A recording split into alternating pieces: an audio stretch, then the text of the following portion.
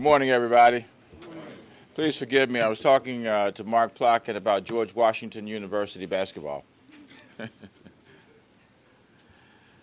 right. Well, again, good morning. Uh, today, I am here to uh, deliver on a promise that I made in July two, uh, 2012 uh, when I released the One City uh, Action Plan. Uh, the promise was to make a uh, to make the plan a living document, and that it uh, serve as a tool for uh, district residents to keep uh, our administration accountable.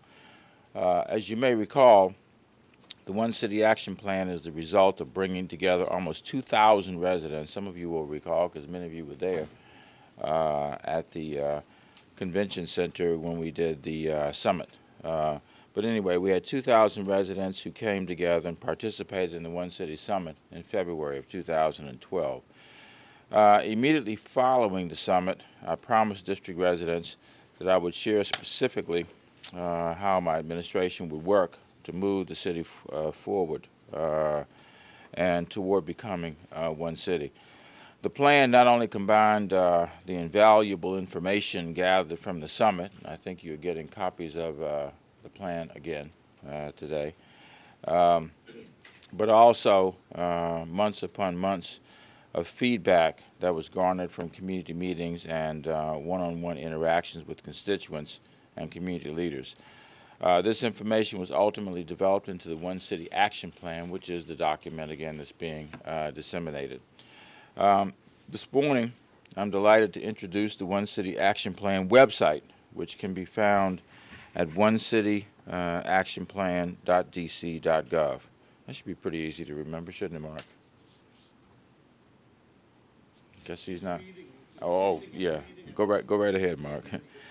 The website was built to mirror uh, the One City Action Plan document. It includes updates on each of the uh, 66 action items and 19 long-term uh, indicators. Uh, in addition to a status update uh, on each action item, the action items are labeled uh, as completed, on target, or delayed. And I'm really pleased uh, with the progress that we've made uh, over the past eight months.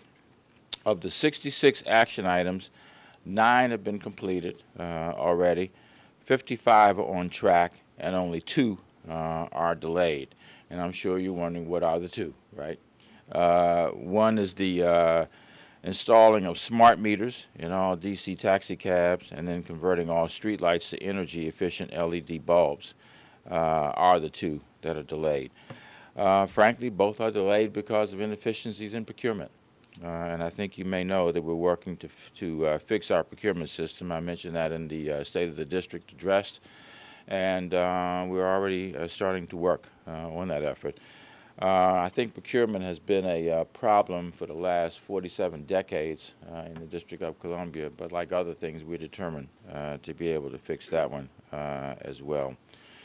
Um, the website will be updated quarterly, and I want to encourage uh, all residents to track our progress as we work toward becoming one city. All right, let me move on to the next topic now, and that is our CBE Advisory uh, Group.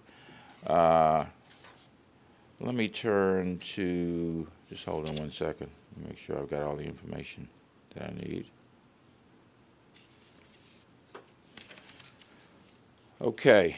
Um, the um, CBE issue has to deal with our continuing quest uh, to reform the District of Columbia uh, government in the area of our uh, certified business enterprise uh, efforts. Uh, again, as I stated in the One City Action Plan, uh, building resilient, diversified, small and local businesses is a critical uh, part of my strategy for developing a new economy in the District of Columbia, an economy that is less dependent on the federal government, and we're really working hard on that because we've done a lot of work alone uh, in the area of uh, technology. Um, so I'm announcing the next steps uh, in an ongoing commitment to uh, achieve serious and lasting reforms to the city's Certified Business Enterprise CBE uh, program. I have appointed a CBE advisory group, uh, a panel of 17 prominent uh, business leaders from the uh, development, construction, finance, and other industries who will advise me and pertinent agency leaders as we prepare new legislation to reform the CBE program. Um, I'm going to ask uh, those who are here, I don't know that everybody's here, but those who are here, if they would come up uh, to the front. Pretty good number.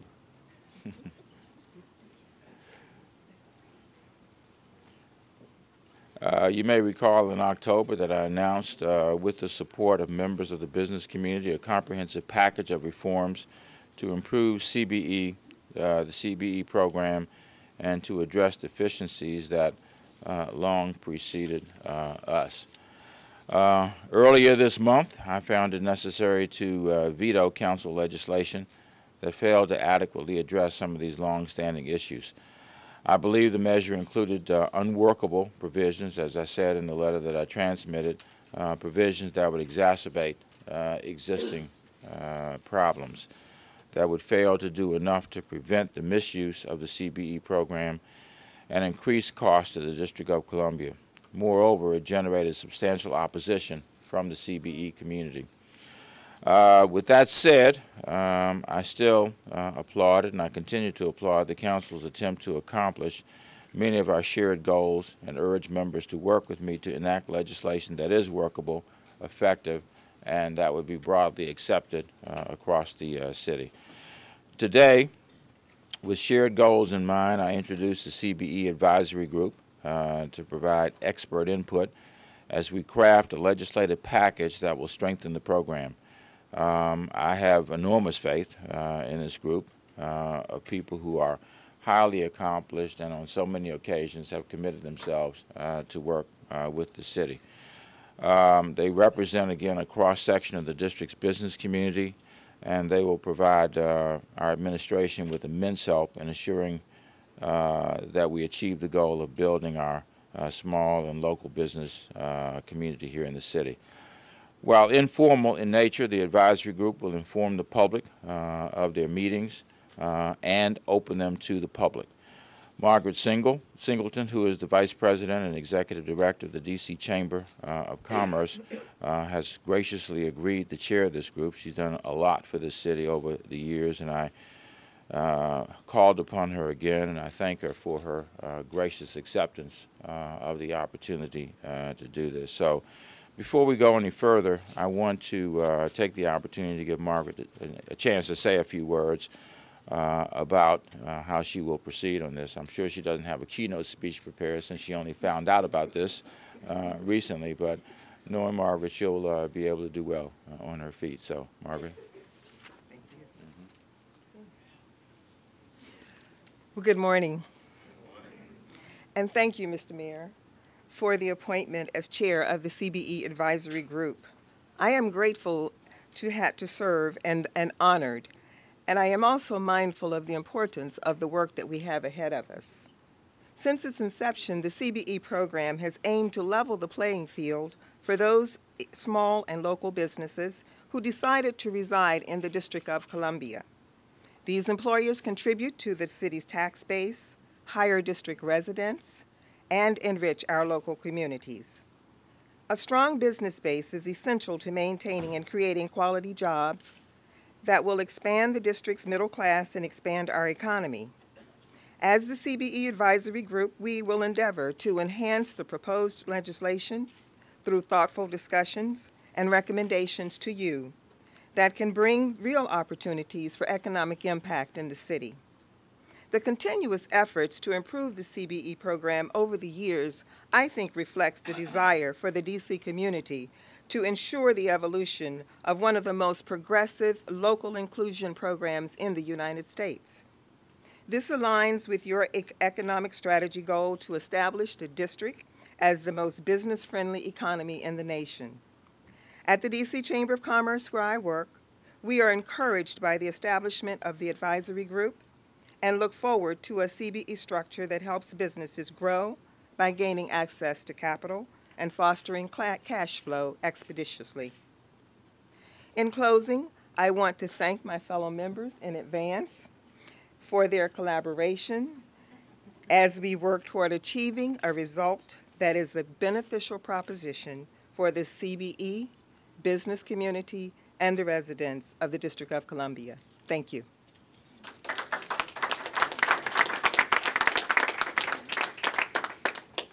We're going to have a five-minute speech now from each one of the members. now, I want to thank each of you for your willingness to do this. I, I wanted the public to see who has agreed to work on this, and this is obviously a sterling, uh, very capable group. So, uh, if you all have any questions for them, wait until we finish. You know, uh, we got one more. We got one more. We got one more to do, and we'll come back to it, Mark. Okay. Thank you, guys. Could- Could they introduce themselves? You, some- you don't know who those people I- are. I don't know every one of them. I'd like to know the ones I don't know. Sure, I'm Brad Fennel with WC Smith Company. Jair Lynch from Jair Lynch Development Partners. I'm Merrick Malone with Robert Bobb Group. I'm Rod Woodson with Holland and Knight. Luc Brami with Gelberg Signs. Deryl McKissack with McKissack and McKissack. Uh, Ernie Jarvis, First Potomac Realty Trust, President DCBIA. Loretta Caldwell, LS Caldwell and Associates. Alberto Gomez, Prince Construction Company. Bill Alsup Hines. Natalie Ludaway, the law firm of Leftwich and Ludaway. Jim Engelmeyer, WCS Construction. Uh, Adrian Washington, Neighborhood Development Company. Pedro Alfonso, Dynamic Concepts Inc. And I'm Vince Gray. I'm from the government, and I'm here to help you. Thank you all.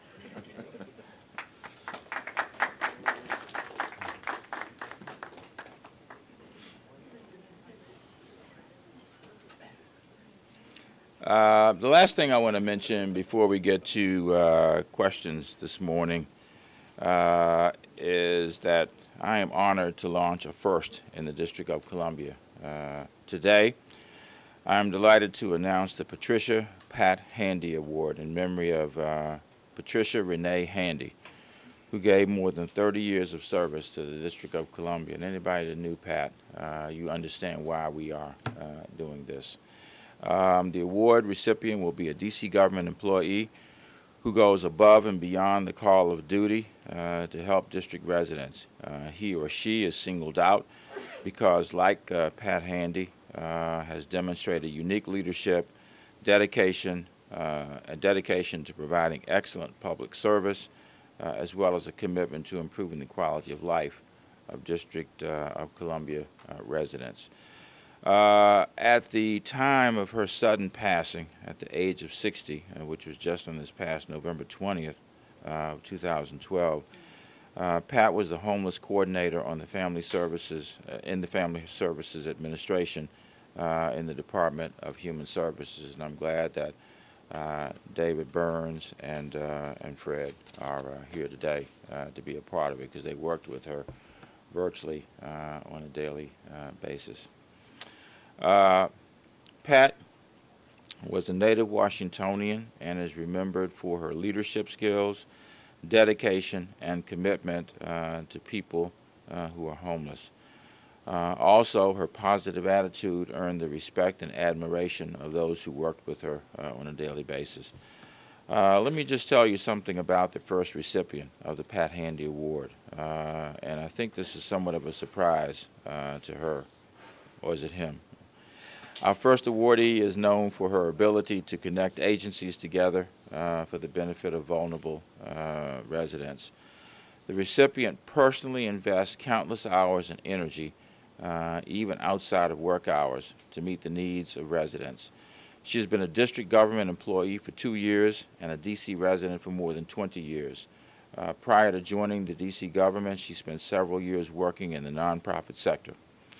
Our recipient has been closely involved in education reform efforts since the early 1990s, when, as a law student at the University of the District of Columbia, uh,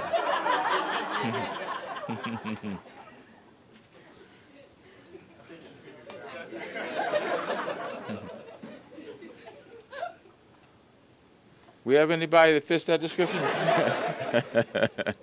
Well, you had to know we were going to get to something that would give it away, right?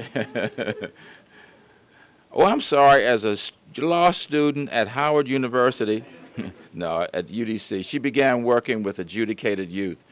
Her interest in education and advocacy uh, deepened after she and her husband officially became foster parents to a 15-year-old and uh, unofficially to several other teenagers. She has spent her career doing policy and advocacy work focusing on at-risk youth, uh, English language learner students, uh, school choice, and uh, civil rights. The awardee has been described as a compassionate, smart, strategic colleague. She wears many hats at her agency, including being a leader uh, of the service uh, members to veterans and uh, to service members, veterans, and their families work group, uh, and also the hoarding task force, moving agencies to work together to uh, help residents in precarious situations. Um, I focused on this employee after I received an email uh, from a D.C. resident uh, who's currently on active duty in Afghanistan. Uh, he wrote the following, and I quote, What she and a volunteer did is pretty spectacular. They uh, came to the aid of a senior resident who had no family and was sleeping in her car because her house was unlivable due to a hoarding condition which all the neighbors uh, complained about. Uh, the two identified a multifaceted, multi-agency approach to humanely address the issue uh, by securing funding to bring the pro- property up to code, identifying mental health care, which the senior resident had lost after she stopped working, and with a pool of very committed volunteers, helped the lady re-enter her home. The email went on to say, again, and I quote, this is a story about compassionate intervention, about Washingtonians caring uh, for a senior citizen uh, whose society had forgotten. But more importantly, their collective efforts highlight an approach to humanely address a growing problem with people who are elderly in our community, unquote. The email was written by a serviceman uh, who lived next door to Marilyn Templeton, uh, the senior who needed help. And I want to thank Joby uh, Gorchoff, uh, who is the volunteer from the uh, Tails High Cat Rescue Group, who helped Mrs. Templeton. Uh, both and both of them uh, may be here today. I don't. I know one of them is here today. I don't know about Joby. Uh, in any event, the employee praised in the email has earned the admiration and respect of her peers, thereby embodying the spirit of the award's uh, namesake. And as we present the award, Pat's father is here uh, today, and I'm going to ask Dr. Handy if he would come up uh, and join me uh, as we present uh, this award, the first Pat Handy Award, and it won't be it won't be the last. How are you today, sir? Um, I'm really proud to present this award to somebody who I've actually known for several years. Uh, I used, when I was the chair of the uh, council, I would do um, youth hearings on Saturday mornings, and uh, she would uh, characteristically bring a group of young people down uh, to participate uh, in the hearings. Anyway, please join me in saying thanks to Ariana Quinones.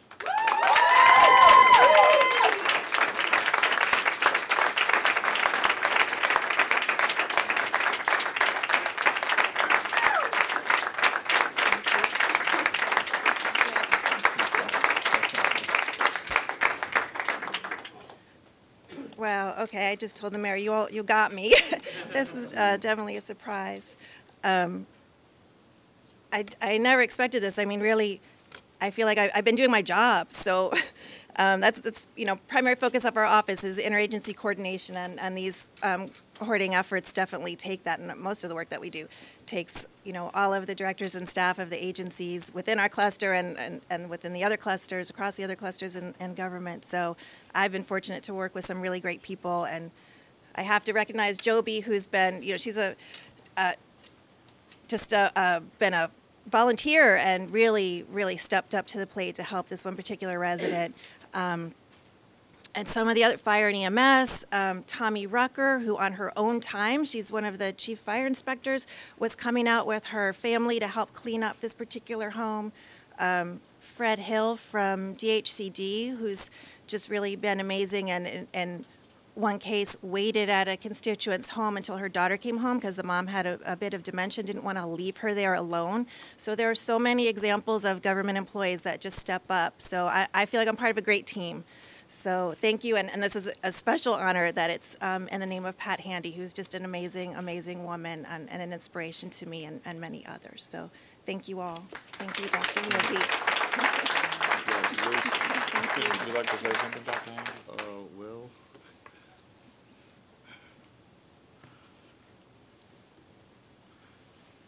Uh, good morning.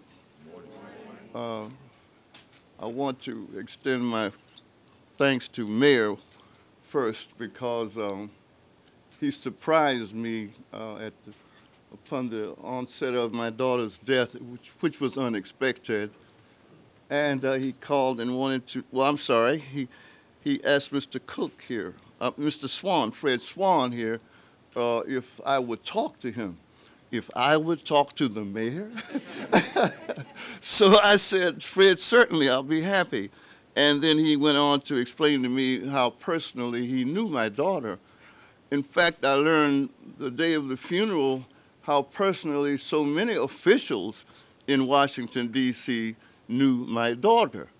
Now, I knew she knew uh, people who needed help and intervened. Uh, the mayor mentioned compassionate intervention uh, in terms of his award, and uh, that sort of personified Patty. Well, at any rate, uh, at the funeral, uh, the mayor spoke, uh, Mr. Graham spoke, um, Mr. Wells spoke, um, um, Ms. Alexander spoke. Ms. Alexander's father and I had been ex good friends for life, tennis players.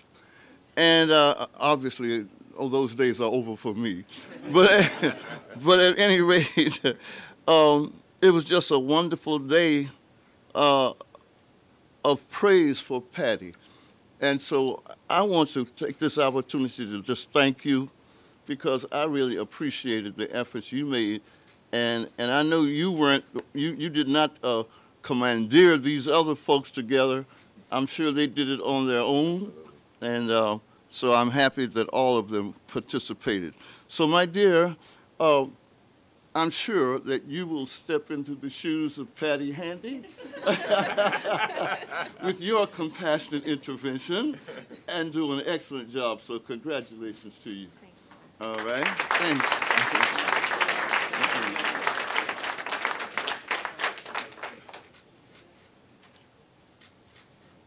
Okay, thank you. Thank you, Dr. Handy. Oh, thank you. There will be other occasions. We don't have a specific timetable or a specific number or a specific anything with this. There will be other occasions when the uh, Patricia R. Handy Award will be um, will be accorded, uh, and it will be circumstances like you just heard about uh, with Ariana uh, when the award will be uh, given, uh, and that's the kind of work that that Pat Handy did uh, to be able to um, to move people to a different place in life. I don't know how to put it any more succinctly or uh, directly than that. And again, I want to thank uh, David. I want to thank Fred uh, for being here because they worked with her uh, every day and certainly know um, firsthand the kind of work and the kind of compassion that she brought to her her position.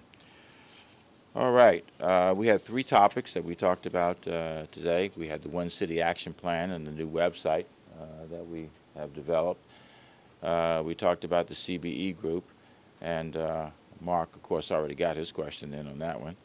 And then we talked about the award. So I'll be happy to take questions on any uh, or all of those subjects.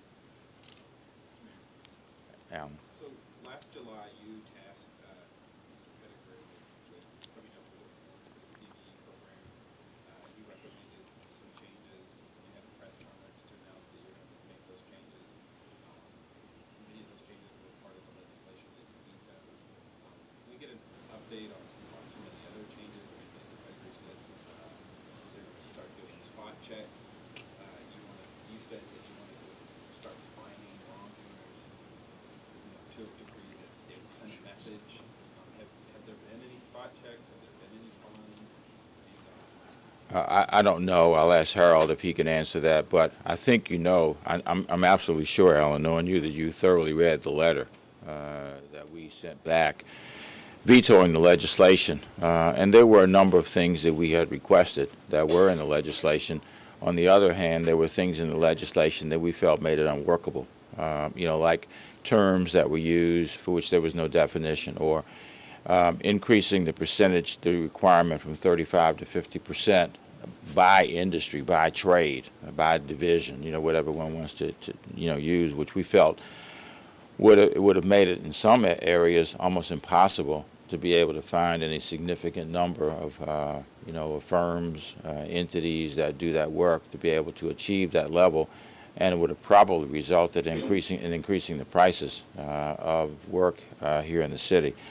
Uh, and then the the way the preference points were uh, reallocated uh, in the legislation. So we've asked those because a lot of the, a lot of the people that you heard from are people who were concerned uh, themselves about the legislation. I think I heard from more people with respect to this legislation than I heard have heard from many. Uh, so uh, it just seemed appropriate because I think we probably would have wound up in litigation before very long around some of the terminology uh, that was being used for which there was no definition, and it would have been virtually impossible uh, to ascertain exactly what the government meant uh, in those circumstances. So, again, a number of the things that I had wanted were in there, but there were so many other things that were in there that made the legislation unworkable, and that's why we are back uh, to the drawing board. And by the way, this will not go on forever. Uh, I know Margaret; she's a taskmaster, and uh, I would suspect within about 60 days, uh, we'll have something that can be uh, reintroduced. Uh, now, you asked about spot checks. Uh, do you know, Harold? Sure. The, uh, one of the linchpins of the, of the uh, CB reform efforts, uh, aside from the specific initiatives within it, was simply uh, to put a team in place.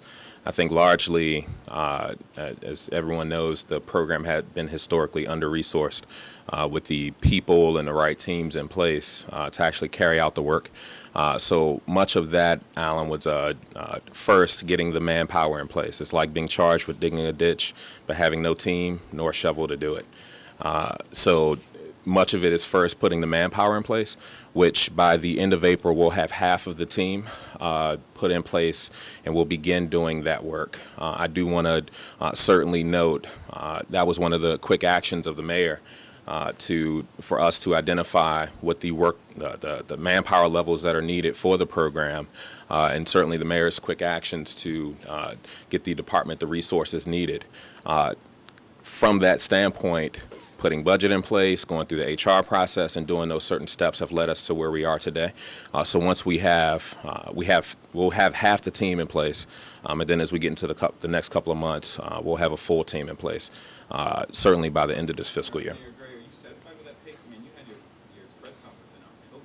No, I'm not satisfied with it. I'm not satisfied with the legislation that came forward. That's why we here. This is separate. Well, let me finish, Alan. I'll let you finish your question. Excuse me? I don't want you to get distracted. Well, how do you think I'm going to get distracted? Oh, you asked me a question, so I'm answering it. The question was, am I satisfied with the pace? And the answer is no. Uh, I- If I could refine my question, specific pace of him, of Mr. Pettigrew, uh, staffing up and, and and doing these spot checks. and- I- I'm, I'm, I'm not satisfied with the pace of the entire effort. We had expected to be at another place uh, at this point. And by the way, we not only have manpower, we have woman power uh, also that, that we're uh, involved with this program, as you can well see. Uh, but the, the fact of the matter is, we expected to be at a different place uh, at this point. We're not. And we're, uh, we went back to the drawing board reluctantly, um, and we expect to come back with a piece of legislation that will be sound, that will reflect the things that we hope to be able to achieve, and that won't be challenged in the aftermath. I frankly think if we had gone forward with the bill that we had, uh, and again, I appreciate the work of the council on this, but I think we would have gotten slowed down at a, a later point. So this is an effort to try to um, to to redo uh, the bill in a way that will be sound, uh, will be legally sufficient, to use one of those terms, um, and hopefully we'll get it done quickly. Ms. Brazil. Mayor, can I ask you about your, the members of your task force? Uh, and the first question I have in that regard is, um, who advised you and what was the thought process in terms of, of these seventeen individuals being appointed to the task force? What were you looking for, or what was your goal? Um, looking for people who really brought some expertise and interest and commitment uh, to the issue. Uh, some of them, in one way or the other, expressed views uh, about the legislation. Um, they had been involved in the CBE program in one way or the other for some time, but people who we, we knew uh, had some expertise in this and um, had a commitment to trying to see that the CBE program uh, improved as, as much as we possibly could. Mr. Mayor, a- along those same lines, I was personally struck by many of the members of the seventeen-member task force because of the fact that, quite frankly, very few of them have what I would consider clean hands. And whether or not it's articles that have been in city paper or the Washington Post or what have you, over the years, uh, many of these have been what I would call some of the worst actors benefiting from the, the problems in the CBE program. Uh, and along those lines, had you thought of not having people who are currently using the CBE program, but maybe some outside experts, people who don't have contracts, for example, with DGS or the district government, who might give you some insight as to uh, industry standard or best practices across the nation? Well, clearly, I, I have a, a very positive view uh, of the people who have agreed to participate. Uh, they are an advisory body in an informal sense, so anybody who wishes to weigh in once we finish this work will be welcome to do that. But I heartily appreciate the fact that they've stepped up uh, and agreed to do this. They all are uh, hugely qualified people who work very hard every day and don't have a lot of hours to give to other things at this stage. So I want to publicly thank them uh, for agreeing uh, to do this, and I'm sure that they will reach out to others uh, along the way. Uh, Margaret is noted for being able to do that, so I'm satisfied with the group that we have, uh, especially recognizing that there will be opportunities for anybody who wishes to to provide input. Don't you think it would have been of help to get someone who um, knows best practices along these lines across the nation, or someone who, quite frankly, isn't a contractor, or someone seeking a contract with the district government, or has been what I call a bad actor um, in the CBE program of, of- of the past? Ms. Ms. Brazil, if you have somebody you want to recommend, let me know. The door is wide open. Well, you're not worried about any potential conflicts of interest? I mean, Ms. McKissack, her, her firm, and Ms. Ludaway, they work for DGS. DGS, has- there's been numerous problems with the CBE program there. Um, Mr. Woodson represents Forrester Construction. He's a lobbyist for Forrester, which the city attorney general is currently investigating. Um, I think Holland and Knight has also represented Sigal, which Councilmember Orange has asked the Inspector General to investigate. I mean, these people are in the thick of, um, of a lot of the problems with the CBE program. They also are people. They also are people who know the program, Alan, and I'm comfortable with the fact. Well, I'm, I'm responding to what you said. I'm comfortable with them serving on an informal advisory body, which this is. Um, at the end of the day, the legislation will be mine that's transmitted, not theirs. It will be mine. But it seems pretty, pretty tilted towards the larger contractors and their interests. Well, I think you also know the bill that I put together earlier too, so you know what my principles are, what I'm interested in, and um, I think it was a pretty good bill uh, that was uh, was introduced earlier, and we probably won't stray, you know, far from that. Any other? Yes. Well, we're on these three that are the subject of the press briefing. Uh, if anybody has any other questions on the CBE group, on the One City Action Plan, on the uh, Pat Handy Award. You have any questions on the Pat Handy Award? Think it's great? Please write that. All right. Any other questions on that? If you all would like to stay, you're welcome to. If not, uh, you've been properly disparaged, so.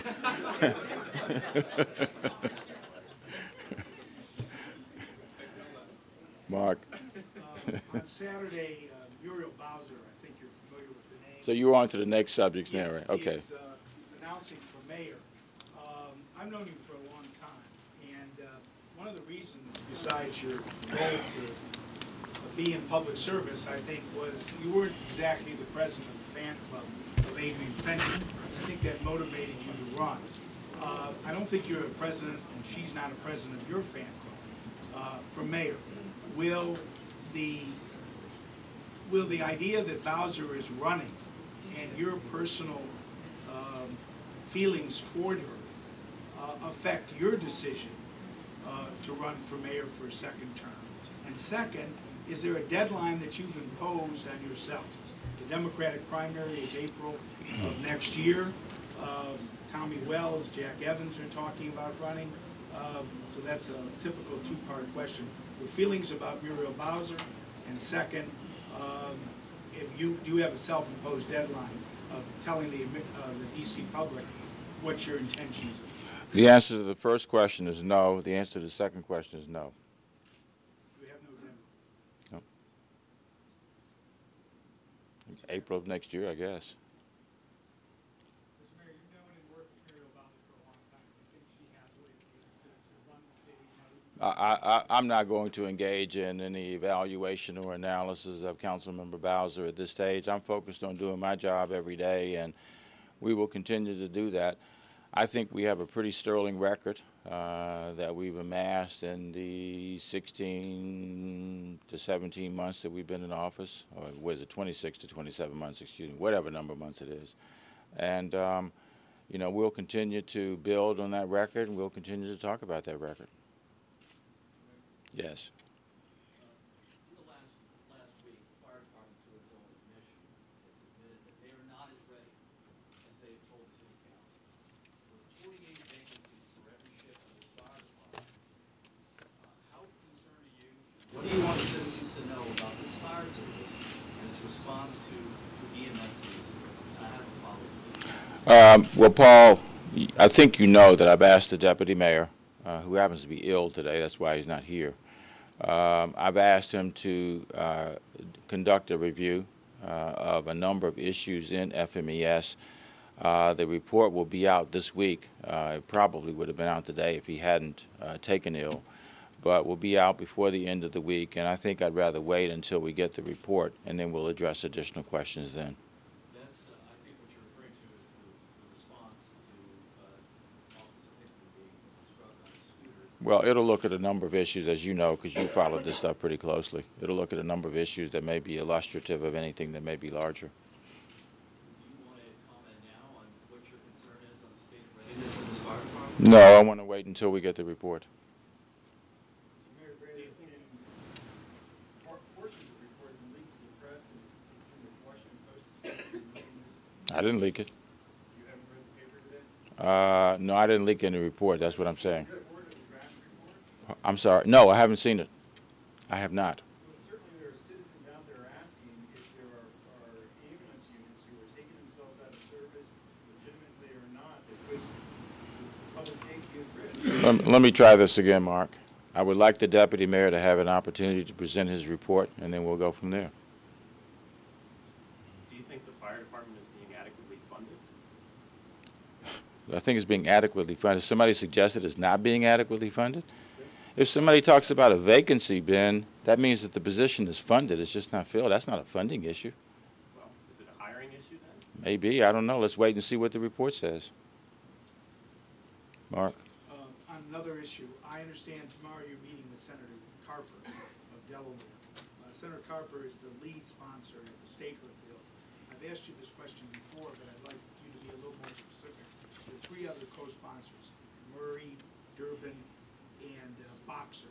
Uh, You've said, and I wondered if you're going to ask Senator Carper tomorrow to move the statehood bill actually in his committee. Uh, Senator Glenn uh, had it in his committee 20 years ago, and it never moved. And whether you're in favor of a strategy uh, to have a vote on the bill. Senator Reid, Majority Leader, is for statehood. Uh, Or is this just a symbolic four senators sponsoring statehood and it doesn't go anywhere? What is the level of involvement that you're going to ask Senator Carper, and what is the strategy behind this? Well, of course, I hope it uh, moves. I hope that the bill is voted upon. Um, I think you know my commitment, Mark. I, I can't imagine, you're not asking that question, are you? No, I'm not. I'm Yeah, asking you, what yeah. are you going to ask Senator Carper? Well, I'm going to ask him to do everything possible to move the issue uh, forward. I'm very appreciative of the fact that he has stepped up um, to be an advocate uh, for the District of Columbia. I appreciate the other senators having, you know, Senator Durbin, Senator Murray, and Senator uh, Boxer also for having stepped up. You know, I don't want to suggest that it looks like we're really getting some momentum, but, you know, to have four senators having signed on to this, uh, and then we'll work as, as hard as we can to get others to sign on.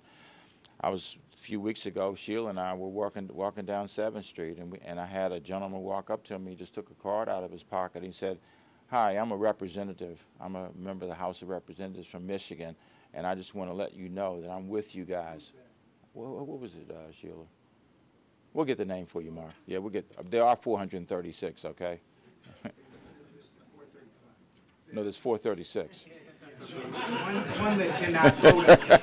Yes, and I happen to count her as a member of the House of Representatives. I do too. Uh, My question, a little more refinement obviously you're aware, and everyone's aware, the Republicans control the House. They're not gonna bring up this bill. Are you for bringing up the bill, in the Senate, even though it will, it will, it could pass with fifty-five Democratic senators? Uh, It's never been brought up in the Senate. Even if it loses, are you for, uh, it loses, that is, they don't get sixty votes for cloture, or they don't get fifty-five votes for, are you for bringing it up, uh, even though it might, for a vote, even though it might lose? I'm for anything that will advance our cause, and I don't think losing a vote is a loss necessarily, because it elevates the issue. It gets people, you know, talking about it. Uh, we knew we'd have to be in this for the long haul, and uh, we will be in it for the long haul. Uh, again, I'm, I'm really excited um, about the fact that we, we're getting this far, Mark. I'm, I'm excited about, you know, the fact that more and more people are paying attention to the DC flag. Some of these little things are going to build uh, momentum, and there will come a tipping point. Uh, I don't know what day that will be. No one knows, of course. But the only way we can advance this is to continue to uh, continue to discuss the issues and work with those who are advocates and try to convince those who may be on the fence that they ought to be uh, more involved with us to be able to advance the cause of justice and democracy uh, here in the District of Columbia. Ms. Brazil? Um, With regard to your One City Action Plan, you indicated that, um, your projects in DC were pretty much on target, except for two, the, um, the taxi cabs and the streetlights. Um, I'm flipping through your action plan now. Was the undergrounding of power lines and the, uh, effort to improve reliability of electrical service one of your action plan items? I don't think it was. I don't think it was, no. I think this is something that we got into after the derecho uh, last year. We recognized that, you know, once again, uh, we had a reliability question that was being raised. You know, obviously, we don't run the power company, but it's our residents who are affected by this. And so I and our administration just stepped into the breach uh, to say, look, we need to provide some le- leadership here. Uh, You probably will recall, I said we need a game changer uh, on this issue. Even though it's not a part of your One City Action Plan, can you give us an update on where the undergrounding issue stands? Uh, The Uh, task force has been meeting. Uh, Most of the committees, with the exception of one, has submitted a report to the members of the group, and their um, final report has been delayed, I guess, for a couple of months. Can you tell us when we can anticipate um, an announcement regarding the? I don't mean to be flippant, but we'll get the report when they're finished. Uh, It's a very complicated, complex uh, issue. Um, I do think that they're making progress. This is an issue like, you know, like others that had never been tackled by this government uh, before. Uh, We're continuing to work on it. I I don't know, I won't, I won't uh, propose a date because I don't know that anyone has a date uh, at this stage as to when it will be available. Uh, You will recall that we took on yet another issue, and that was the Bloomingdale flooding issue that had been a century, uh, had been around for a century. We took it on, and we found a solution to that. And uh, we're going to try to keep everybody at the table uh, to be able to find a solution to this one as well. There are a lot of different interests in this. You know, you've got the uh, PEPCO, obviously, you've got the Public Service Commission, you've got the People's Counsel, you've got uh, people of the District of Columbia, you've got the District of Columbia government. Hugely complicated issue. And um, the fact that the, the conversations have gone on and have gone on as constructively as they have, uh, I think bodes well for us, even though we don't have a solution uh, as yet. But, Mr. Mayor, it's my understanding that there's widespread agreement among the members of the task force that needs, of what needs to be done. The issue is paying for it, and the recalcitrant, uh, member of the task force and key player is Pepco. Um, have you gotten such a report back? Uh, No, no, and Pepco has been at the table at every one of these meetings. We've had innumerable discussions with them. Um, And of course, they, they have interests just like everybody else does uh, at the table. But they are continuing to work with us, and, and uh, I appreciate the fact that they are. Again, we, I think everybody recognizes that we don't run Pepco, we don't run the power company, but the people of the city are, um, every time we have a power outage, there are lots of people who are affected.